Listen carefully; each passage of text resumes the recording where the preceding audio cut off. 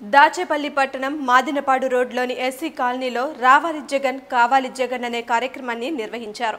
ఈ కార్యక్రమానికి YCP party Gurazala నియోజకవర్గ సమన్వయకర్త కాసు మహేష్ రెడ్డి గురజాల నియోజకవర్గ నాయకులు యనమల మురళీధర్ రెడ్డి వైసీపీ పార్టీ యువజన విభాగం రాష్ట్ర ప్రధాన కార్యదర్శి జంగా వెంకటకోటయ్యలు పాల్గొని గడప గడపకు తిరిగి వైసీపీ పార్టీ అధికారంలోకి వస్తే చేపట్టే పథకాలను జగన్మోహన్ రెడ్డి ప్రకటించిన నవరత్నాల గురించి వివరించారు.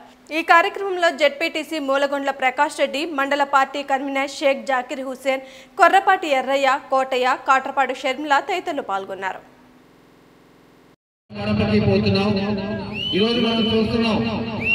కనీసం సిమెంట్ రోడ్లు సరిగ్గా లేవు. డ్రైన్ వ్యవస్థ అస్తవ్యస్తంగా ఉంది వాన పడితే నీళ్ళు మన ఇళ్ళలోకి వచ్చేటట్టుంది. మరీ ముఖ్యంగా మన ప్రార్థనా మందిరం. ఇప్పుడిప్పుడే మరి ఫౌండేషన్ వేసుకొని పిల్లలు వేసుకుంటుంది పునాదులు వేసుకుంటున్నారు ఇప్పుడే లేపుతున్నారు ఒకటే చెప్తున్నా మన ఎస్సీ అన్నదమ్ములకి అక్కా చెల్లెలకి జగన్మోహన్ రెడ్డి గారు ముఖ్యమంత్రి అయిన మూడు నెలల్లోనే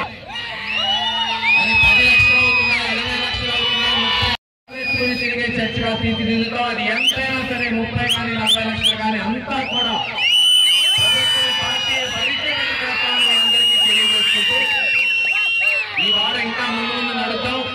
ప్రతి ఇంటికి పోయి వాళ్ళ కష్టాలు తెలుసుకుందాం. గతంలో రాజశేఖర రెడ్డి గారు ముఖ్యమంత్రిగా ఉన్నప్పుడు అరవై ఆరు ఎకరాలు ఈ ప్రాంతాల్లో పంచడం జరిగింది. కానీ కుటుంబాలు పెరిగినాయి. పిల్లలు పెద్దవాళ్ళయ్యారు ఒక్కొక్క ఇంట్లో భార్య బిడ్డలు తల్లి తండ్రి అందరూ ఒక గదిలో తలదాచుకోవాల్సిన పరిస్థితి వస్తుంది. ఈ రోజు దాచేపల్లిలో ఒక్క ఎస్సీలోనే కాదు. మన మైనారిటీలో ఉన్నారు బీసీలో ఉన్నారు ఎస్టీలో ఉన్నారు. మరి ఓసీలో కూడా కొద్దిమంది ఉన్నారు. దాచేపల్లిలో రాజశేఖర రెడ్డి గారి పేరు మీద ఒక ఆదర్శ కాలనీ నిర్మిస్తాం.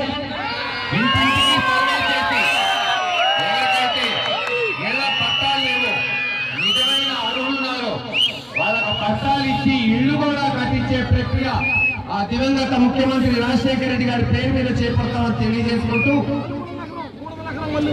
తప్పకుండా పొలం లేని వారికి కూడా ఎస్టీ కార్పొరేషన్ ద్వారా లోన్ ఇప్పించి అందరికీ కనీసం అరెకరం ఎకరం ఉండేటట్టు చేస్తామని తెలియజేసుకుంటూ అందరం కూడా నడవాలి.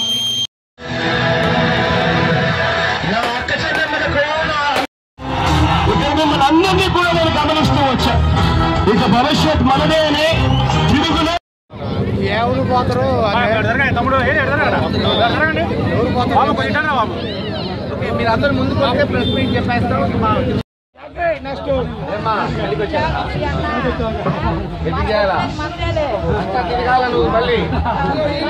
పక్కన కూడా అందరూ జగన్మోహన్ రెడ్డి గారు ముఖ్యమంత్రి అయిన తర్వాత ఆఫీసర్స్ తీసుకొస్తాం.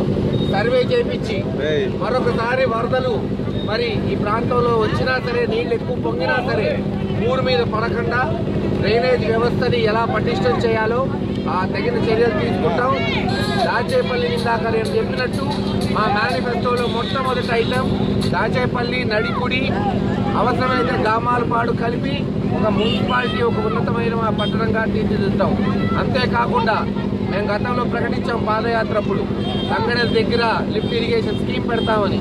మేము అన్న తర్వాత పాపం తెలుగుదేశం నాయకులు ఆఫీసర్ని పంపించి ఎమ్మెల్యే గారి డ్రామాలు ఆడిస్తూ గీతలు గీపించుకుంటూ నాలుగున్నర సంవత్సరాల్లో చేయలేండి ఆరు నెలల్లో చేస్తా అంట ఎవరు నమ్ముతారండి? ఒక జీవో తెస్తాడు కాగితం మీద. శాంక్షన్ అయింది మేము చేసేస్తున్నామని. ఇవన్నీ అయ్యే కాదు సచ్చే కాదు. ఏదైతే ఆ రోజున కాసు బ్రహ్మాంత్ రెడ్డి గారు నాగార్జున సాగర్ కట్టి ఈ ప్రాంతాన్ని సస్యశ్యామలం చేశారో తద్వారా రాజశేఖర రెడ్డి గారు పులిచిత్తర ప్రాజెక్టు నాగార్జున సాగర్ కాలువలు నాలుగు వేల కోట్లతో ఆధునీకరణ చేశారు. అదే స్ఫూర్తితో మల్నాడు ప్రాంతాన్ని సస్యశ్యామలం చేస్తాం. ప్రతి ఎకరానికి సాగునీరు అందిస్తాం. ప్రతి ఇంటికి కూడా మా ప్రాధాన్యత ఆ రోజున కృష్ణమూర్తి గారు ఇరవై కోట్లతో కృష్ణానది మీద రాజశేఖర రెడ్డి గారిని ఒప్పించి పథకాన్ని తెస్తే ఈరోజు కనీసం నీళ్ళు ఇవ్వలేని దుస్థితిలో తెలుగుదేశం ప్రభుత్వం ఉంది. ఒక్క మంచినీటి పథకం అయినా ఈ గురజాల నియోజకవర్గంలో తెలుగుదేశం హయాంలో వచ్చిందా? ప్రశ్నించుకోండి. ఒక్కటి పిడుగురాళ్ళకు మంచినీళ్ళు లేవు దాచేపల్లికి లేదు గురజాలకున్న మంచినీళ్ళ చెరువులో కూడా చేపలు వేసుకుంటున్నారు. ఇది తెలుగుదేశం ప్రభుత్వం ఒక పాలన. తప్పకుండా దీన్ని ఎండగట్టి ప్రజలు రాబోయే ఆరు నెలల్లో జగన్మోహన్ రెడ్డి గారికి ఒక అవకాశం ఇస్తారు.